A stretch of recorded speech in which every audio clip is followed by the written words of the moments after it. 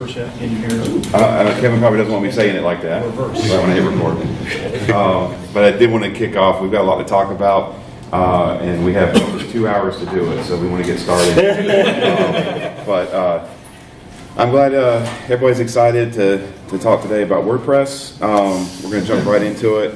Oh, no, I'm sorry, Bio. This is demystifying decoupled Drupal with Contenta CMS. How many people have heard about uh, decoupled Drupal? All right. So we will probably able to breeze through some of the basics on decoupling, but please ask questions along the way. Uh, we don't need to wait till the end. This can be kind of interactive. Um, so we'll kind of jump in. So these are, this is what I meant. We'll, we'll kind of talk briefly about what's decoupled Drupal in case somebody doesn't know and why would you decouple Drupal, which is probably the most interesting question that I think a lot of people have is why do you do it? Um, and uh, what's Contenta CMS? We want to talk about Contenta um, and really what that offers, what that gives you. Um, and then talk through the features. And then we're actually going to dive into demos and try to do more demo kind of things today versus, you know, talking about a bunch of slides and things like that. We'll see how that We goes. A bunch of screenshots of everything. Yeah. Because, so. lots of videos of bio and stuff like that. But um, um, but I think it'll be fun. So don't you know Q and A can happen in, in between. So please ask questions. Uh, if we don't know the answers, we'll tell you, but we'll, we'll try to find it together. And maybe someone else in the room has the answer. So um, let's jump in. Uh, my name is Mark Shropshire. Uh, I go by Shrop um, on the internet and stuff. Uh, in case you hear me, people call me Shrop, then that, that way it doesn't confuse you. Uh, and I'm an open source or the open source security lead right now uh, at Mediacurrent. And um, so I spend a lot of time on security focused things, but also um, get into. I'm always interested in tech, like I think a lot of us here, or we wouldn't probably spend our weekend. Uh, well, there's reasons to be in Asheville, but we wouldn't spend our weekend uh, kind of geeking out on all these things if we weren't interested in tech somehow. So, um, And my name is Bio Fodeke. I have a lot less known profile on internet compared to Shrop. Um, but kind of like him, spend a lot of time doing a lot of open source things, especially in, um, in Charlotte local community, in the meetups. Uh, I have a fancy profile, so that's me. Name is Bio. You, you, name usually gets turned into Bayo, Bayou, which you guys might hear often, but uh, Bio. So anyway, Shrop and Bio are kind of synonymous a lot of times. So, um, so uh, a bit about Mediacurrent. Um, we're a full service digital agency, and the big focus is really bringing ROI for enterprises um, and making sure that they actually have value. So while we get excited about technology and we like to try all these new things, like things we're talking about today, we want to make sure that we don't have somebody who just say, hey, we want to decouple just because decouple is the cool thing to do. We want to make sure that, you know, maybe you're a Drupal, basic Drupal sites, all that's needed. So, um, so that's kind of what we do. And um, we have design and strategy and U- UX and not just development. So lots of people, smart people there that know a lot more than, than I do. So let's talk about decoupled Drupal. Sound like lots of folks are familiar. Um, this is the long description that's out there on Acquia about decoupled Drupal. Uh, it's hard to find a really short description. It doesn't even summarize it completely, but you know, um, I think the I think the main focus uh, with decoupling is, and, and that really that's why I think the more interesting question is why uh, do you decouple? But when we talk about decoupling, uh, there's different types. We'll mention those, but the main thing here is to uh, there's some there needs to be some reason, some value to decouple. But in the end, you're using Drupal for what it does great at, and that's managing the content. And you're using other tools to create front ends. Um, and it also plays into the API first kind of methodology where you know you're going to have some type of API, some type of way to get data out to some other applications. Um, and it's fun to not just think about like desktop and mobile apps. It's fun to think about native. It's fun to think about what do you do on watches, what do you do on uh, you know other future tech that may come, all the screens and things like that. Devices, you can think about that too. Exactly, because it mentions IoT in here. Um, so there's lots of possibilities. So I'm just going to chat about this.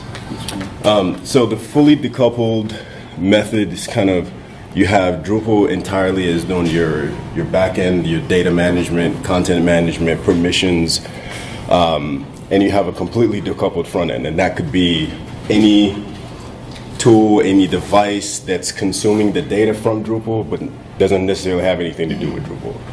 And kind of as he alluded to on the previous slide, that could be an iOS app. It could be you know medical software. It could be you know, some legacy application that's somehow integrating. Doesn't necessarily have to be a fancy front end, a fancy JS front end. It could be an old PHP application or old uh, .NET, whatever it is. If you need to integrate uh, maybe your, your, old legacy systems, but you're getting data from Drupal, uh, whatever it is that's consuming data from Drupal that's not um, also Drupal. I guess it could also be Drupal. That's the other thing too. Mm-hmm. Uh, but just something else that's rendering your data from Drupal, Drupal being your backend and you kind of your data source. Uh, so that's definitely a couple of things. So it could be your, you know, your browser, native app, digital signage, which is another pretty nice, interesting um, approach. Um, and it could be all sorts of different things. It's kind of consuming that your your data from Drupal. And, and Bio kind of reminded me of something. One of the demos he did at a CharDUG meetup, that's the Charlotte Drupal Users Group down in Charlotte. We have fun down there uh, doing meetups once a month, uh, second Wednesday uh, of every month at Hygge Co-work, but if you're interested. But one of the things that he actually demoed on Contenta a few months back was just a separate PHP application, nothing to do with Drupal, that was consuming data from a, a Drupal 8 Contenta site. So that it does go to show that you know you can if you think about it more as like this is just an API delivering data and then just it can connect up to whatever you need to, that's that's really a good approach. Yep. So um, progressive, uh, progressively decoupled Drupal. Um, this one this one's really interesting, I think. Um, so uh, I think a lot of the excitement a lot of times is fully decoupled, and that's more of what we're talking about today uh, with Contenta. But just to mention that uh, progressively decoupled is situations where you're still going to have some presentation layer, some twig theming type things going on, uh, presenting data, but you're also integrating some JavaScript frameworks uh, into maybe the, the uh, Drupal thing. And, we, and I, was, I was on a project where, uh, in, in the last six months, where some of that was done. A few of us in the room were on that project, and it was it was really neat to see how some React components could be plugged right into a Drupal theme and be used. Um, and what was even better was the client developed those React components. Uh, and I don't think I don't think Zach's here, but Tobias is here, and you guys worked on all that. It was really fun because we saw we were able to take the React components. I say we as in the royal we. I had nothing to do with it. I watched it, but we uh, but as a team we were able to basically get those React components uh, with and with some modification, but not a whole lot, and uh, have those render through Drupal so that they didn't have to be written from scratch. Say it, that was actually a nice uh, ROI for the business, which was really cool. Um, and again, same kind of endpoints, you know, browsers and, and native apps or, or, whatever you can imagine. So here's the, this is the question that I like to ask, and I think you guys can come up with more reasons. I know there's been talk about, uh, uh, there's going to be talk about Drupal commerce and, and decoupling. There's talk about, uh, you know, doing React, uh, focusing on React and other front end uh, JavaScript frameworks, but uh, really step back and say, what, why do we decouple whatever the project is? Um, some of the things that come to mind, um, and I'm gonna let you hit on this first one because I think oh yeah, talk so about some of the the front end developer experience. So most of you here know exactly how easy it is to find solid Drupal developers, and if you're not if you're an organization, if you're an organization that um, and you have a lot of development needs. You, you want to be able to progress on your front end. Um, needing to source for Drupal developers that have strong front end experience, that might be a little bit harder, but you can find a lot more in general. I, I, I assume you can. I guess not like I've been looking or anything, but I assume you can find a lot more front end developers who who know a lot more about some, some of these fancier, newer um, frameworks. You know, your React, they're into you know Vue things, other ones and things because I don't know them. But um, so you, you, you can get people who can work on your applications who don't necessarily have any knowledge of Drupal. You know, you don't need to know all the Drupal APIs in order to be able to query for data. You can integrate with that. You're just using JSON API or whatever. Um, and, and that's big for for being able to advance your organization and keeping up to date. Uh, I guess the, whatever your industry is. Yeah, I think that's, um, I think that's just, there's a lot to unpack with that, but um, it's, it is, is very beneficial for uh, any business that needs to hire developers. Hiring developers in general is tough, hiring developers that fit on teams and do well in certain teams uh, because you want people that like what they do, have passion for what they do and enjoy it, and not, it's not just a job.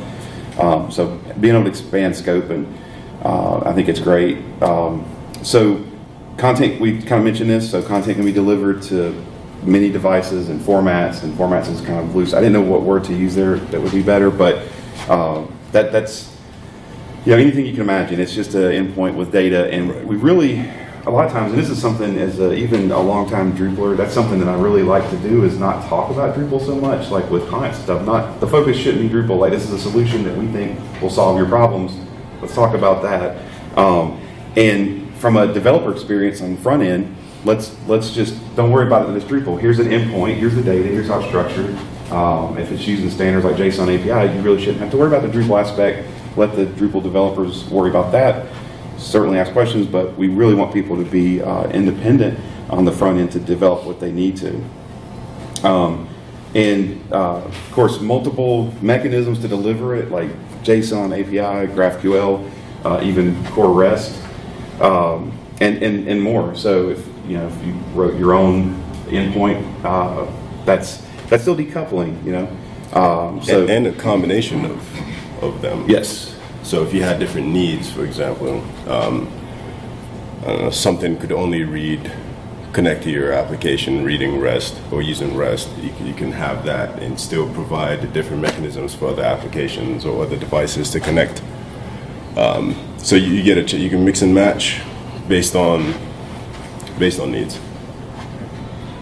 I add a personal data point is, I worked on a progressive Drupal site, and one of the things we discovered was that our, uh, in terms of doing the story process, basically our front-end designer could do the HTML and CSS as straight HTML, and then basically pass that off to the, we were using Angular, pass it off to the Angular developers, who then would use that for their templates. So as opposed to the Drupal development where, you know, the CSS people can't really come into play until you get all of the blocks and they know Right. what all the fancy Drupal classes are gonna be. That was, that was, you know, we could put actual HTML in front of the client faster. How many sessions have we had at DrupalCons about that issue? Yeah. Like the whole, you know, front front front end's waiting for development to, to get that ready to go, and and then just the whole.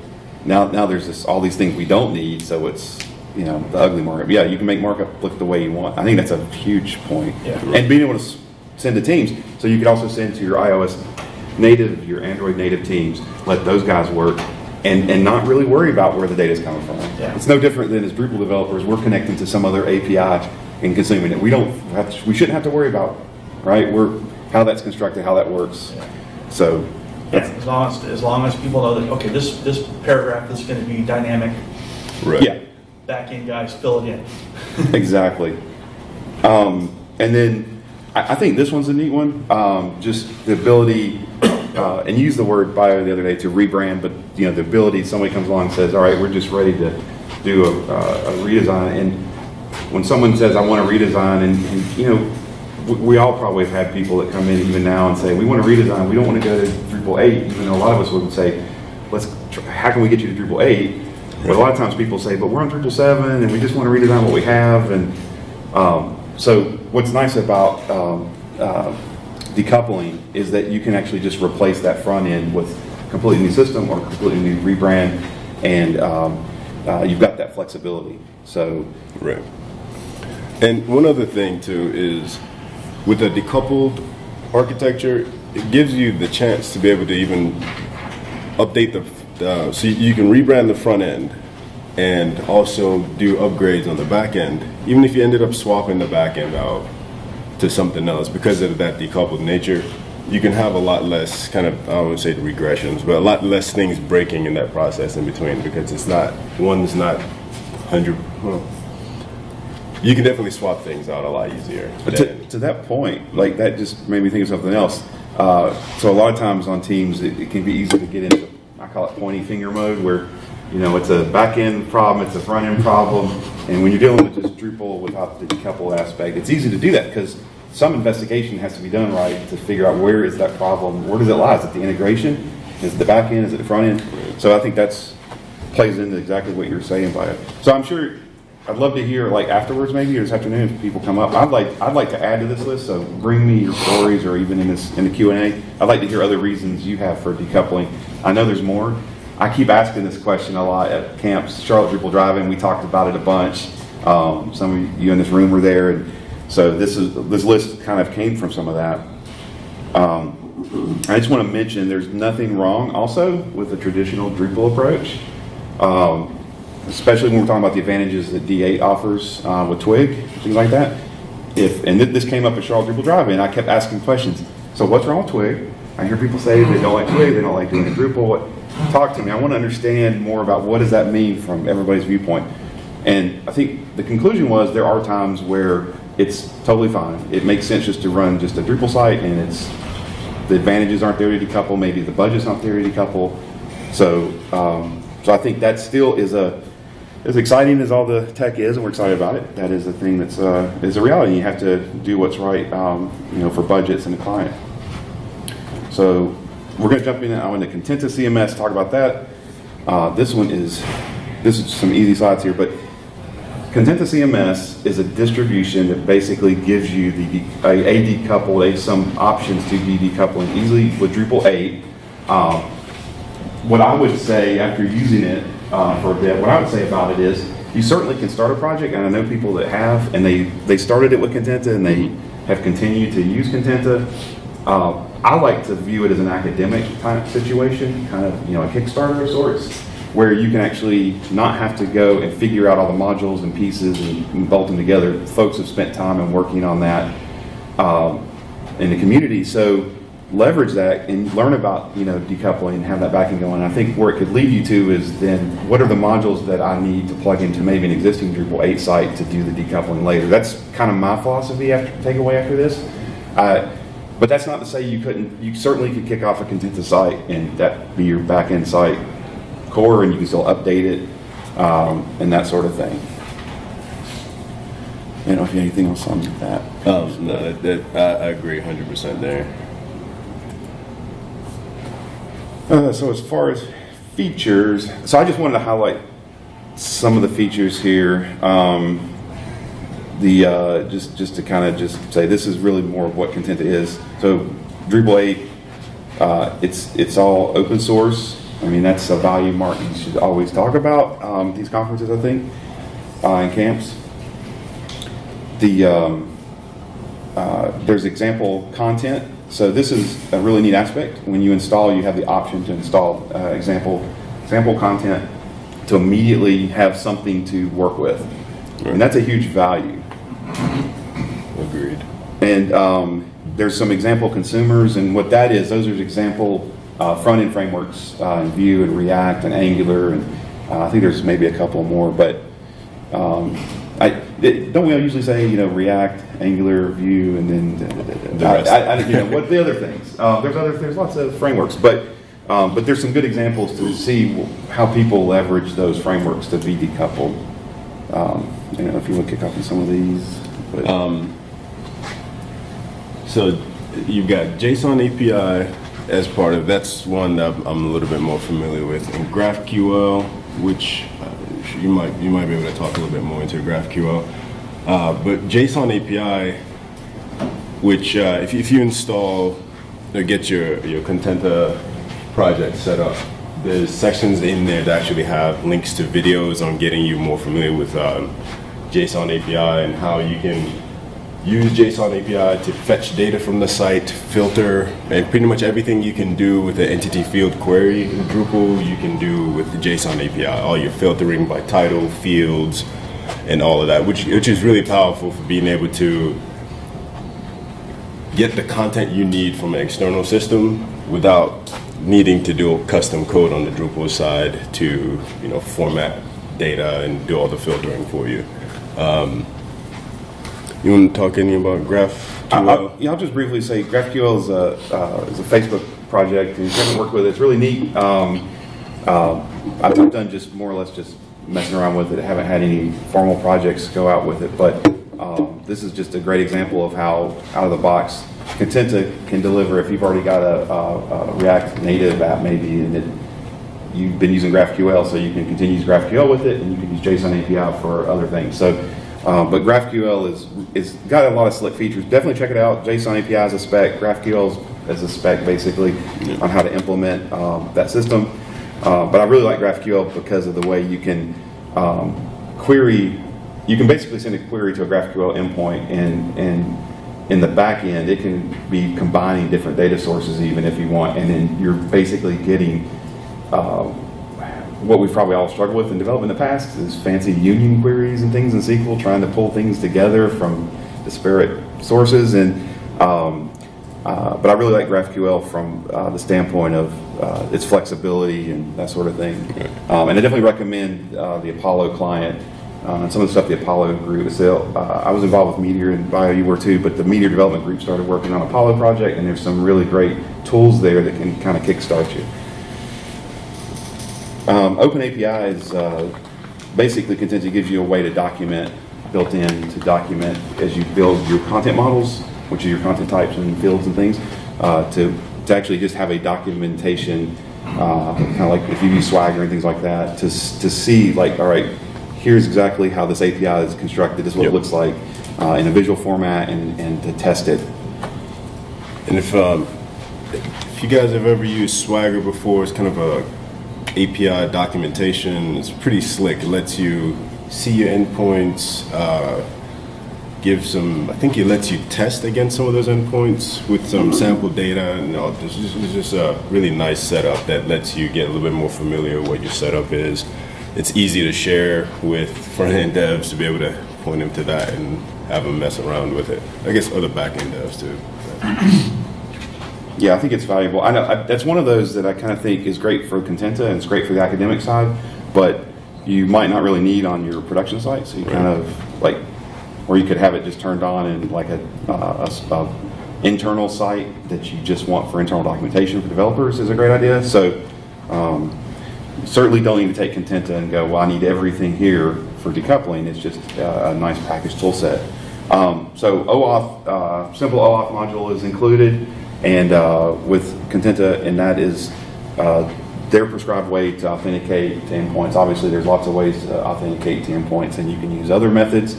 Um, that, that's a, a standard. Uh, I will say it's complicated.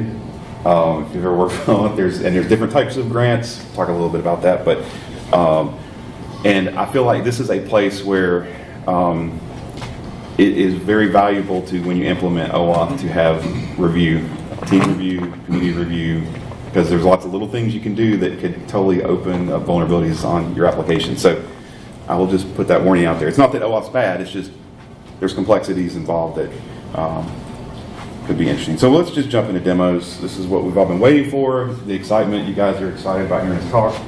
Um, but let's look at some demos. So I will mention quickly here that um, to install Contenta, we're actually not going to demo this and let you watch a bunch of command line things scroll by the screen, although that would take a bunch of time for my presentation to take pressure off of us for what's coming next. But um, but anyway, that's that's as simple as you install it. It's it works really well. Um, Bio, you came up with the idea for this app. Um, that we just wanted something different. I Right. think I, I said, Bio, I don't want to do a blog. I don't want to go read blog data and display a blog because when's the last time anybody built a has anybody built a blog in the last six months in here? And I know probably we haven't. It's fine. You raise your hand. I'm just asking how, how many blogs. See, you may have had Design refresh count?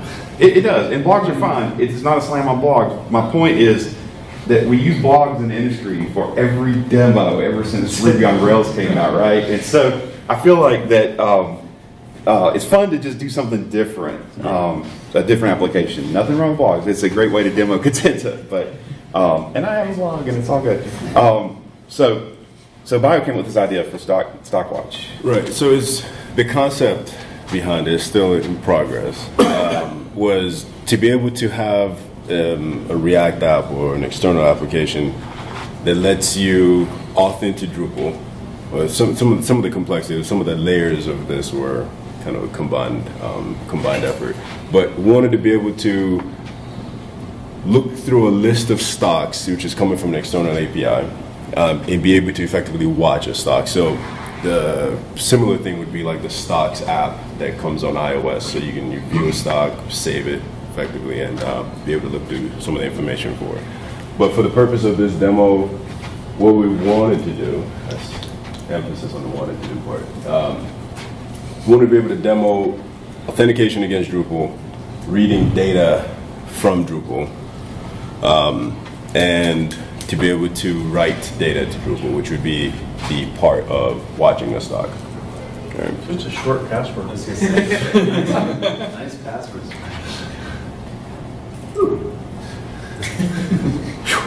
That that's fun. Unfortunately, you have to enter a password that long. Thank- Thank you. It, I, you know, let's open Vim next. Um, so, uh, cool. So this, yeah, so this is uh, the back end of uh, Stockwatch, which is Contenta, and this is pretty much a base Contenta install. We did um, uh, make the homepage user slash login, so you get the login if you try to go there. Um, in this situation, we're not expecting users to interact with this site except for OAuth um, for uh, getting log, login for that. But um, but just we can kind of talk through some of the parts that we want to hear. Um, one of the things that's interesting is um, uh, let's look at. Let me just look at our content situation here. So we've got a content type called stock. And I'll just.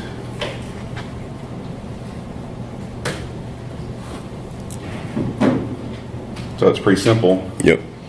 So it has a company name, uh, stock price, and we're using a title field for um, for the stock symbol.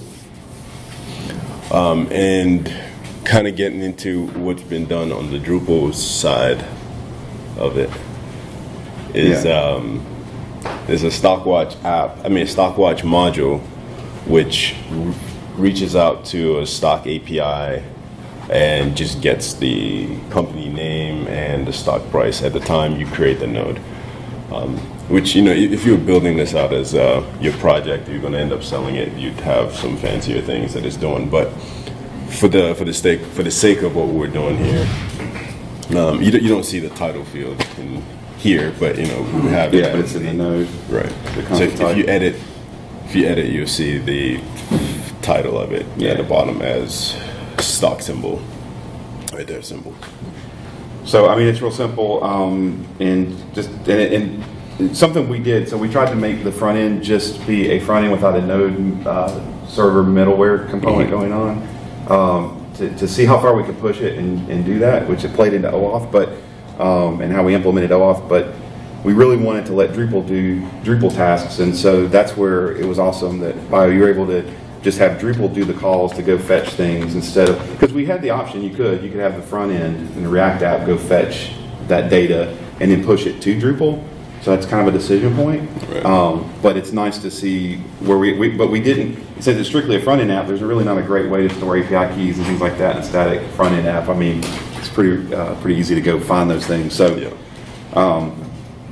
And um, so some of the other features here, it, you'll, by the way, you'll notice that content models, this is, um, the Contenta Group has uh, had some, they're, trying to make things simple so someone doesn't have to think about, that's one of their goals, to not think and worry about that it's Drupal um, and not really learn a lot about Drupal maybe. Um, so it's, a, it's an interesting experiment, I would say. It goes along with some of the core things happening right now, um, trying to make things easier for people to get things spun up. But if you see content models, it's really just content types, um, but just wanted to point that out um, because it could be confusing for us. It's fancy wording. It is, it is. Um, and we did, yeah, so, and Bio mentioned that, um, oh yeah, I want to, uh, let's jump in. You mentioned that, that you had the module that goes out and, and uh, uses the uh, accesses. So this is this is when I go to API. This is what actually loads the uh, the Swagger. Swagger, the open API stuff. Uh, right now, it is not loading, so I'm not gonna have you watch this any longer, unless anybody wants to. Uh, I'm not sure why. Usually, because Contenta is kind of in active development stuff. Usually, it's like one of those like if I go update that module, then it just works. So, Right. um, so I'm going to try that later. But but what I want to show you in here is that uh, there's some uh, a mode here. It talks about authentication and a simple uh, curl request. So if you want to use the authentication that it provides, uh, you can use this curl uh, command, and you'll enter the OAuth some of the OAuth information, and you'll notice there's this client secret one of the things I did with, I did a lot of research on to learn. It was a learning thing for me, but with OAuth, we didn't want to use a grant that, that meant that the front end app held the secret. Um, you don't want that in your front end app uh, because it, it's, it, it can get exposed pretty easily. So, uh, so we use a different type of grant. But if you're doing a Node app in the middle, you can you can use um, like a password grant in OAuth. Uh, I'm happy to talk more about that and learn more about that from anybody uh, later today. But uh, I wanted to show some of these things. This is interesting. So if I go to advanced under API, this just shows us a little. This is I think this is a nice thing with Contenta from the educational standpoint. You see, there's JSON API. It talks a little bit about what it is. Uh, here's GraphQL, and you can enable GraphQL, and here's REST. You know, it's uh, I know Drupal well enough to enable REST, and, and there you have it. So, um, and, and I'm really encouraged. For a while, I thought that core REST was really kind of like not getting a lot of attention, and it seemed like JSON API was taking off. And then recently, now there's a lot of initiatives to work on uh, core REST. So I'm really excited about that because it's nice to have that there. Because sometimes just a REST API uh, is is all you need for things. So those are some of those options um, that are built in. So I wanted to also show you real quick the OAuth setup. So we have simple OAuth built in. We've got uh, this is default settings right now, and you want this is another thing that you want to have reviews done on and make sure that you're setting the right things. Uh, that's a five minute timeout for access tokens, so that's how short a lot of times by default OAuth tokens are. Uh, your app should go and refresh those tokens for you automatically. You're not logging in every five minutes, but kind of the apps do it for you in the background. Um, and then there's the refresh token that does that for you. There's an expiration time on that. That's the longer expiration, and that's when you'll occasionally, Twitter will say, hey, go log in again on some app. And you're like, I haven't logged in on Twitter for months. Well, now it's time to do it because we're out of refreshes.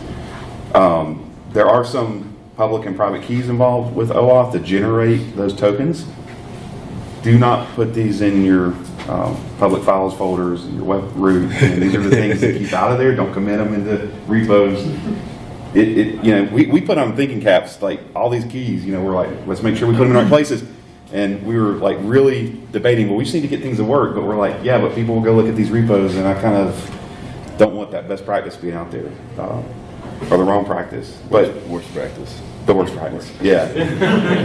the terrible practice. Um, so, uh, so the other part uh, that's interesting under under people, we've got some additional things like tokens and clients. So I'm going to go to clients. This is the client we're using from the React app at the top. This is the OAuth consumer. It's it, like in uh, GitHub, you'll see your list of consumers. Like uh, I think they're called clients, maybe in GitHub, but you have this uh, ID, this UUID, and that's the client ID for, from OAuth's perspective. Um, we have a redirect setup. We're, using localhost right now, but um, uh, but there's some settings in here, and uh, so these are the things you want to watch Mateu's video on uh, on the Contenta site. He's got several videos on OAuth. I, I definitely watched all those, and it'll help you configure this. So I think that's awesome. So that's the kind of the Contenta portion of it. Uh, in, in the background, I'm not going to get into this now because we don't have the time, but I would say when you install Contenta, go look through all the modules that come with it because that's really, in the configuration, that's where it's really interesting. All the work they've done is, is all of that. Um, so as far as the front end app, it's React. Yep. And uh, what, do you want to talk about any of that from your perspective? So, for me, this project was big getting into React.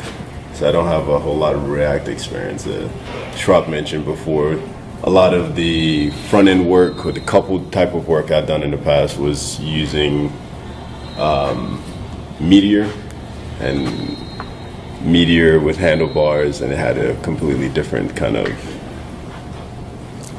kind of integration. Um, Is so that, is that, is that like saying that React's different from everything? yes. Okay. It's its own. Um, how many people here are familiar with React? All right, so quite a bit.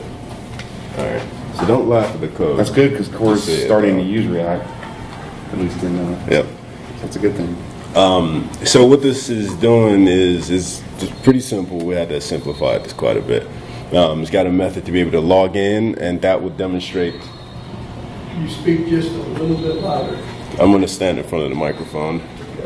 Do you want me to hit the mute It looks like it's on. Can you guys? You'll know when it's on. There it is. All right. Um, so one of the things that, uh, like I said, is it's pretty it's simplified quite a bit. One of the parts we wanted to have is it has a login button, and that will demonstrate the OAuth aspect of it to be able to get a token and all the your session, yeah, the authentication token. Um, so it demonstrate that. Then we, we've architected this kind of like a single page app where there's just things that are shown on the page or not based on the state. Uh, if you know React, then you know what I'm talking about. If you don't, sorry. Um, then what we've got here is a stock search, which is a simple uh, input field. Whatever you type here, and for simplicity of this demo, What- What's the Netflix one? is NFLX. All right. So just for simplicity of this, it's not searching against the API since Drupal is the one that's doing all that connections. Um, but this is searching against the Drupal site, uh, getting the JSON API response and filtering it based on the stock symbols that you've typed in here. Um, and we wanted to kind of go a little bit further along with this and flesh it out a little bit more. But um, it demonstrates the the ability to filter by content by essentially by title here. Is, is what we've said so far enough for any investments? Right. So essentially, what we've got in, on the you mind we, can demo the we can demo whatever you want. We can add a new stock. If somebody Yeah. have a suggestion for a stock to add in here, Just add it on the Drupal side? yeah. All right. I, I'm gonna let you drive. All right, let's do this. So that, okay, I don't know how to use this Drupal thing, so. How about Amazon? Shopify. All right, give me stock. Give me the shop? Shop. Oh, boy, that, that was a great symbol, right? Uh, and so, what this is doing is, based on the symbol, you save, it reaches out to the API, gets the company name, stock price, and you know you can get a lot more things if you wanted out of this. Uh, you can architect it as you want because the data comes back, right? And so from here, uh, okay, I'm gonna ask for one more stock in a second. So we take Something's this. Amazon. All right, so we'll try that in a second then. Um, so For those of us with like mutual funds and 401ks, anybody know the symbol right off, like AM, AZ? AMZ, I think. AMAZ? AMZ. Or Z. AMZ. AMZ? Okay. All right, so we'll do shop, and Shopify comes back. That's the current stock You price. just put that in Drupal. So AMCN, uh, submit. There's nothing that comes back. trying to. You, you Yeah, can I've see zoomed and everything. No, it's just there's nothing beneath it. So Okay, just trust You get to see There's that. also Apple AAPL. I got that one in there. So it'd be cheating. Trump put that in first. All right, so I'm gonna add Amazon AMZN. Save that, gets the price. That's, uh, that's nice. We only, we, by the way, we only have like 235 requests left for the day, so we gotta slow down. It's a free, it's a free API. Yeah. And But you can see so, the disclaimer about 15 minute delay. Yeah. so um, now that that's in Drupal, you can be able to pull that in there. And so, it, let's say this wasn't even the kind of structure you had in your application, and you wanted to go in and um, you, you had something else that's populating this data. I'm a little excited that Amazon's jumped that much. And uh, this, Okay. this dropped that quite a bit. My retirement. I was like 16 the other day. Yeah. Yeah, hopefully that was because of a major stock split. Let's see. Uh, we got cash in me in this process Thousand here. share per spot. Did I say that? Wait, what are you saying? What are you, I thought I saved it. Oh, never mind. Um,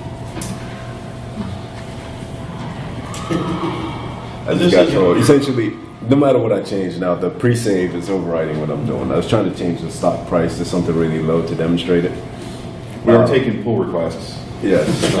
If uh, anybody wants to work on this. So it's very much a work in progress. But anyway, Price is not dynamic, right? That's just doing, when you create the node, you're doing the pull, right? correct. Yeah. But you could say, anytime you pull it up. Right. Right. And I think so where we're headed, like, right now, it, the, the kind of the follow happens as soon as you put one in on the front end.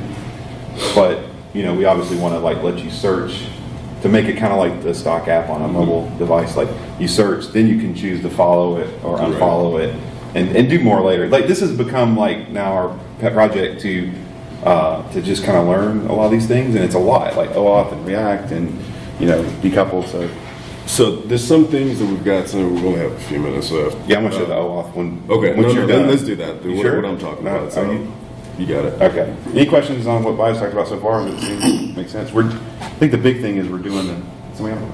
Oh, John. Could you set that up so that you could um, search multiple stocks at the same time? Yes. Doesn't the API Can yes. do that? Yeah. Does not currently. Okay, that's it. New feature You put your request. uh, portfolio in and. John, we're going to put that in the list and, uh, in the quarterly meetings, we'll decide. decide. So, um, anybody that manages products knows that well. Um, so I did not want to test the OAuth thing and demo that before I demoed this because I was afraid this would then break. So we now will do the OAuth process, and I'll talk about that, and that'll kind of wrap up demos and have ask questions along the way. Um, so I'm using uh, the implicit uh, grant type, and that means we're not passing, we're not having to, on the client side, have the OAuth secret, which is the secret for that entire consumer. It's like a password for OAuth, and we don't want to do that on just a purely static front end. Um, so uh, so I'm going to set, what I need to do, I'm going to hit log out. And this may not be right. I'd love to hear arguments against this, for it, whatever. For the sake right now, full disclosure, we're storing the access token in a session storage item. And then when you hit log out on the front end, clearing that session storage. But I felt like, at least when you close tab, you're, you know, it goes away, that session store. It's like local storage, but more session based. And that's just built into uh, JavaScript. But um, but that's where we're storing it now. I feel like there's better places to store that token on the front end of a static app. So I I'm open for suggestions on that. Didn't want to put it in a cookie because I felt like then you're dealing with cookie timeouts and cookies seem like a felt weird to store that in. But um, but that's where that's where it's stored so that subsequent requests I've got that available. I can just do a session storage uh, get item, just pick that up and then just use it and send it along with uh, as a bearer token. A bearer token is uh, is what's being used for this implicit uh, OAuth. So Bearer. Yeah. As well, by the way. Not a bear. So the session, so the session, uh, I'll, I'll show you where that's stored there when we get through the process. What I'm going to do is I'm going to log out of Drupal. Okay, so we're definitely logged out. Uh, these, there's no tricks involved here, by the way. Um, and then we're going to, um, let me make sure I've got everything right. I'm going to get rid, so the access token does come back in a, uh, from, in the OAuth workflow, it comes back like in the query string. Um, but so I've kind of refreshed everything. We don't have it stored. Um, everything, just ignore all that stuff. Don't know. Um, open for pull requests, but um, but now we'll go through the workflow. So when I hit login, what's going to happen is um, it's going to realize there's not a token uh, uh, stored, and it's going to go out and say, all right, we need to now do OAuth, and it's going to redirect to Contenta. And you, you've seen this workflow with GitHub and Twitter and things like that. I always bring up GitHub and Twitter because I'm not can't think of any others right away, but you know everybody that uses OAuth it's a similar flow. So so I hit login, and we get grant access to client. So this so we're not logged in this session to Drupal, and please log in to authorize. So this is where the person would put their password in. This is why um, if everything's set up correctly, OAuth should be better. uh, because you're only putting the username and password in on the, the owner of that data, the, the storage house basically for where the credentials are. You're not putting them in, in some front-end app and then passing them and going, well, I can do encryption and cryptography, I'll just encrypt that myself and it'll be fine, I'm sure. Um, so, so we'll hit login and we will, lower this. Um, I am logging in as UID one so that everything works. Do not do this at home. Um, you know, set up proper users and permissions and things like that. So.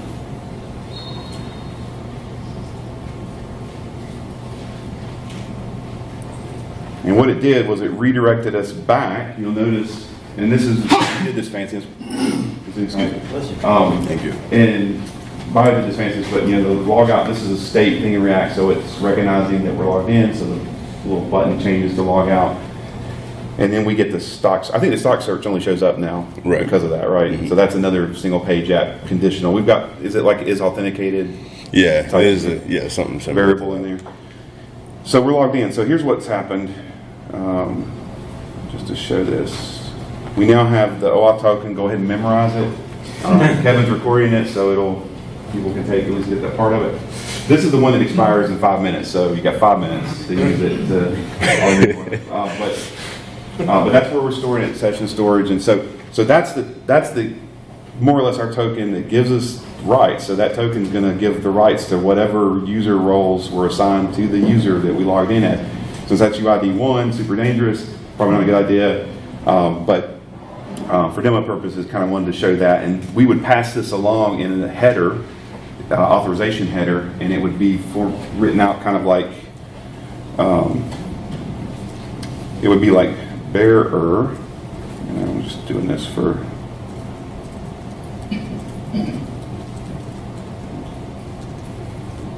So you would basically, that, that's what it would look like as you pass that back uh, with your request for, for data uh, from the protected endpoints. that shouldn't have access um, outside of that.